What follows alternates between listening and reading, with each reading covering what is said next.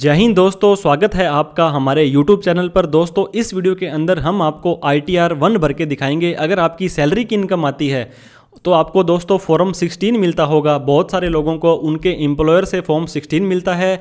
इस फॉर्म 16 के दो पार्ट होते हैं दोस्तों, पार्ट ए और पार्ट बी। पार्ट ए के अंदर ज़्यादा इन्फॉर्मेशन आपके काम की नहीं होती है। पार्ट बी पर सिंपली आपको आ जाना है। यहाँ पे जैसे आएँगे तो दोस्तों आपको यहाँ पे जिसने आपको ये फॉर्म 16 दिया है, उसका एड्रेस आ जाएगा।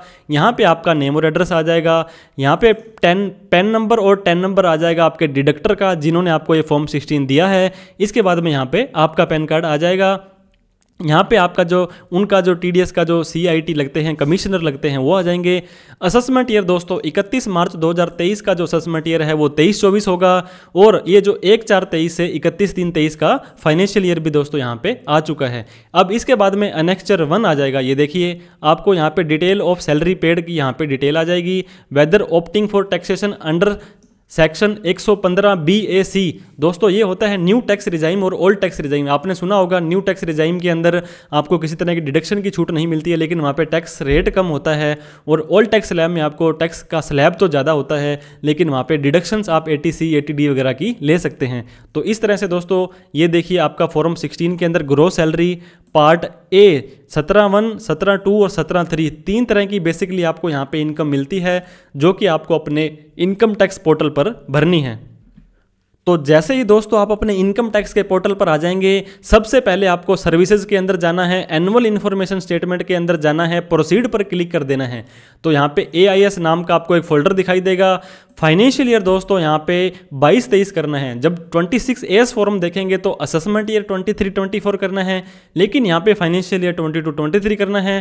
टैक्स पेयर इन्फॉर्मेशन समरी पे जैसे जाएँगे तो दोस्तों आपकी सैलरी की इनकम आ रही है। आपकी सेविंग का इंटरेस्ट आ रहा है और इंटरेस्ट फ्रॉम अदर्स आ रहा है तो इस तरह से तीनों की इनकम जो आपकी छः चौपन तीन सौ सात, ये देखिए दोस्तों छः चौपन तीन सौ सात, इन तीनों ही सैलरी को जोड़ते हैं अगर हम seventeen one seventeen two seventy three को तो छः चौपन तीन सौ सात हमारी आ रही है और वही इनकम हमारी दो, ये देखिए दोस्तों, हमारी इसके अंदर भी आ रही है, आपकी जो एआईएस था तो इस तरह से आपको यहाँ पर कन्फर्म कर लेना है, कोई और भी इनकम हो तो वो आपको दिखा देना है।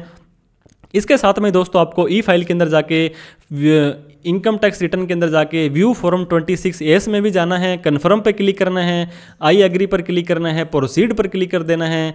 अब व्यू टैक्स क्रेडिट करेंगे दोस्तों असेसमेंट ईयर यहाँ पे तेईस चौबीस करना है। आपको एचटीएमएल करके व्यू डाउनलोड पर जैसे ही आप क्लिक करेंगे तो नीचे ये देखिए आपको सैलरी की इनकम आ चुकी है छः लाख चौपन हज़ार तीन सौ सात। वो सेम की सेम आपकी वहाँ पर भी आ रही थी। अब इनकम टैक्स पोर्टल पर आने के बाद में फ़ाइल नाव पर क्लिक करेंगे दोस्तों। असेसमेंट ईयर तुम्हारा तेईस चौबीस होगा। मोड हम ऑनलाइन करेंगे कंटिन्यू पर क्लिक कर देंगे स्टार्ट न्यू फाइलिंग पर हम क्लिक करेंगे दोस्तों। इंडिविजुअल पर जाना है कंटिन्यू पर क्लिक करना है। कौन सा आईटीआर का फॉर्म जाएगा? अगर आपके पास फॉर्म सिक्सटीन है और ओनली सैलरी की इनकम है या ब्याज वगैरह की इनकम है तो आई टी जाएगी। Process with I T let's get started पर क्लिक कर देंगे। ढाई लाख से ज़्यादा इनकम है तो ये सेलेक्ट करेंगे। अदरवाइज़ अदर सेलेक्ट करके हम कंटिन्यू पर क्लिक कर देंगे। अब दोस्तों हमसे ये पर्सनल इन्फॉर्मेशन पूछ रहा है। ये देखिए पर्सनल इन्फॉर्मेशन पे जैसे हम क्लिक करेंगे तो हमारा name date of birth address वगैरह काफ़ी सारी चीज़ें यहाँ पे आ जाएँगी। कॉन्टैक्ट के अंदर हमारा एड्रेस आ जाएगा। इसके बाद में नेचर ऑफ़ एम्प्लॉयमेंट कि हमें जहाँ से सैलरी आ रही है, वो सेंट्रल गवर्नमेंट है स्टेट गवर्नमेंट है, क्या है? तो आपको जैसे भी आपके ऊपर एप्लीकेबल होता है, हमारा बैंक है दोस्तों सेंट्रल गवर्नमेंट का है। हम आईटीआर भर रहे हैं वन थर्टी में ड्यू डेट से पहले। जुलाई के बाद में होगा तो वन थर्टी आ जाएगा। और भरी हुई रिटर्न को चेंज करना चाहते हैं तो वन थर्टी नाइन फाइव आ जाएगा। इसके बाद में दोस्तों ये पूछ रहा है कि आप न्यू टैक्स रिजाइम में जाना चाहते हैं? नहीं। अगर आपने नहीं जाना तो सिंपली आप नो कर देंगे। अगर जाना चाहते हैं तो सिंपली दोस्तों आपको यस करना है। तो ये कह रहा है कि अगर आप न्यू टैक्स रिजाइम में जाते हैं तो standard deduction chapter six A ये किसी भी तरह की आपको छूट नहीं मिलेगी तो ठीक है जी, हमें कोई छूट नहीं लेनी है। इसके बाद में एक बैंक अकाउंट आपका यहाँ पे ऐड होना ज़रूरी है और उसे यहाँ पे क्लिक कर देंगे सेलेक्ट फॉर रिफंड और उसके बाद में कन्फर्म पर क्लिक कर देना है। तो इस तरह से पर्सनल इन्फॉर्मेशन हमारी कंप्लीट हो गई है। छः चौपन तीन सौ सात दोस्तों, हमने कुछ भी नहीं डाला है लेकिन ऑटोमेटिक आ रही है ग्रोस टोटल इनकम। हम यहाँ पे सिंपली आ जाएँगे स्किप द क्वेश्चन हम कर देंगे यस पर क्लिक करेंगे दोस्तों तो हमारे पास में ग्रो सैलरी की डिटेल आपको पता होगा ए एस टी एस का जो फॉर्म 16 होता है, वो ऑनलाइन भी चढ़ता है और ऑनलाइन चढ़ने के बाद में सारा का सारा जो डेटा है दोस्तों, वो हमारे इस ऑटो पॉपुलेट होकर यहाँ पे आ जाता है। तो ग्रो सैलरी हमारी ये थी, इसको हम एडिट करके देखना चाहते हैं कि कैसे कैसे इन्फॉर्मेशन आई है। तो ये देखिए दोस्तों six forty nine eight zero seven हमारे फोरम 16 में six forty nine eight zero seven था और four five zero zero seventeen two का था। अगर आपके पास में यहाँ पे ऑटोमेटेड अपने आप एड्रेस जो है अपडेट होकर नहीं आ रहा है तो आप क्या करेंगे, उसे मैनुअली डाल देंगे, जो कि इन्फॉर्मेशन थी seventeen one seventeen two otherwise आपका यहाँ पे ऑटो पॉपुलेट होके आ जाएगा। हमें कुछ भी ज़्यादा इन्फॉर्मेशन नहीं डालनी है दोस्तों। स्टैंडर्ड डिडक्शन की छूट हमें पचास हज़ार की नहीं मिली है, क्योंकि हम दोस्तों यहाँ पे न्यू टैक्स रिजाइम में जा रहे हैं। ये देखिए स्टैंडर्ड डिडक्शन चालीस पचास हज़ार रुपये ये पुराना चालीस हज़ार मिलती थी, वही दिखा रहा है। अब हमें सिंपली सेव पर क्लिक कर देना है। ये रिटायरमेंट बेनिफिट वगैरह ऐसा कुछ एरर देता है तो आप सिंपली उसको डिलीट कर देंगे दोस्तों, ताकि आपको ये बार बार एरर ना दे। डिलीट करने के बाद में हम वापस आएँगे सेव पर क्लिक कर देंगे। तो हमारी दोस्तों वो इनकम हो गई है सेव सैलरी की इनकम डालने के बाद में हमें इनकम फ्रॉम अदर सोर्स के अंदर कोई इनकम टैक्स का रिफंड है, हमारा कोई सेविंग का ब्याज है तो ऐड अनदर के अंदर जो भी इनकम होगी हम जोड़ देंगे यहाँ पे। हाउस प्रॉपर्टी की इनकम दोस्तों, आपको पता होगा न्यू टैक्स रिजाइम में होम लोन की छूट नहीं मिलती है। अगर आप लेना चाहते हैं तो ऐड और यहाँ पे क्लिक करेंगे। इसके बाद में सेल्फ ऑक्यूपाइड अगर आप उस घर में खुद रहते हैं तो वहाँ पे दो लाख रुपए तक का ब्याज आप यहाँ पे डाल सकते हैं। लेकिन हम न्यू टैक्स रिजाइम में जा रहे हैं तो हमें कोई भी छूट यहाँ पे नहीं मिलने वाली है। सिंपली कन्फर्म पर क्लिक कर देंगे। कोई डिडक्शन लेना चाहते हैं दोस्तों आप eighty C A T D वगैरह, ये देखिए eighty C C D two की छूट अपने आप ही दे रहा है ये। हमारे यहाँ पे ये दो ये हो गया और न्यू टैक्स रिजाइम में आपको पता है कोई भी छूट नहीं मिलती है, सारा ज़ीरो ज़ीरो ज़ीरो आ रहा है। इसके बाद में eighty C C D two की छूट आपको मिलती है, वो आपको यहाँ पे ले लेनी है। जैसे आप नीचे आएँगे दोस्तों तो ये देखिए eighty C C D two की छूट मिल रही है। उन्होंने एन पी एस का कंट्रीब्यूशन तो तिरसठ हज़ार था, लेकिन पैंतालीस छः सौ पाँच की छूट आपको यहाँ पे मिलनी है। तो पैंतालीस छः सौ पाँच की छूट ऑटोमेटिक यहाँ पे भर के आ रही है। हम स्किप द क्वेश्चन कर देंगे यस कर देंगे। तो इसका मतलब है कि हमें eighty C C D two की छूट मिल गई है। Eighty D eighty G T T B T T A saving के ब्याज की छूट लेनी है। लेकिन न्यू टैक्स रिजाइम में आपको मैं फिर से बता रहा हूँ, कोई भी छूट नहीं मिलती है। तो हमें सिंपली क्या है लोडिंग लेने के बाद में यहाँ पे कन्फर्म पर क्लिक कर देना है, ताकि हमारा जो अगला स्टेप है वो आ जाए।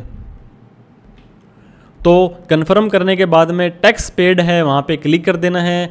तो टैक्स पेड के अंदर दोस्तों हमारा चौबीस हज़ार तीन सौ छः रुपये का टैक्स है, वो पेड किया जा चुका है as a T D S तो हम उसको कन्फर्म कर देंगे चौबीस हज़ार तीन सौ छः और हमारा टैक्स बनता कितना है? चौबीस हज़ार तीन सौ पाँच।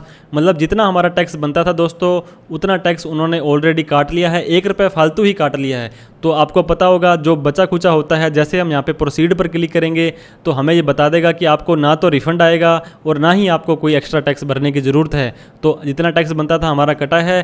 प्रीव्यू रिटर्न के ऊपर जाएँगे दोस्तों, यहाँ पर क्लिक करेंगे आई एग्री के बाद में लास्ट में प्रोसीड टू प्रीव्यू पर हम क्लिक कर देंगे। तो हमें फिर से ये सारी की सारी भरी भराई रिटर्न हमें यहाँ पर दिखा देगा दोस्तों। हमें सिंपली लास्ट में आकर के प्रोसीड टू वैलिडेशन पर क्लिक कर देना है। कोई भी कमी होगी आपकी तो ये बता देगा। अदरवाइज़ ये देखिए वैलिडेशन सक्सेसफुल हो चुका है। तो और प्रोसीड टू वेरीफिकेशन पर हम जाएँगे दोस्तों। ये बोलता है ई वेरीफाई नाउ ये रिकमेंड करते हैं कि आईटीआर हाथों हाथ ही आप भरें और उसको वेरीफाई भी कर दें। तीस दिन का टाइम आप मत लीजिए ताकि आपको इनकम टैक्स डिपार्टमेंट से किसी दिक्कत का सामना ना करना पड़े। कंटिन्यू पर क्लिक करें। तीस दिन के बाद आप रिटर्न भरते हैं तो उस दिन को रिटर्न वो भरी हुई मानी जाएगी, जब आपने वो रिटर्न को वेरीफाई किया है। अगर आप ड्यू डेट के बाद रिटर्न भरते हैं दोस्तों, और आपकी इनकम पाँच लाख से ज़्यादा है, आपने आईटीआर तो भर दी तीस जुलाई को, लेकिन उसको वेरीफाई करते हो दोस्तों तीस दिनों के बाद में। तीस दिनों तक तो कोई इशू नहीं है। तीस जुलाई से तीस अगस्त आपका निकल गया और एक सितंबर को उस आई को वेरीफाई करते हो तो ये माना जाएगा आपने वो आई एक सितंबर को भरी है। तो ये रिटर्न दोस्तों बी लेटेड हो जाएगी आपकी और आपको उसमें पाँच हज़ार की लेट फ़ीस देनी पड़ेगी। I would like to verify Aadhaar OTP continue पर क्लिक करेंगे। I agree Aadhaar OTP generate Aadhaar OTP करेंगे दोस्तों।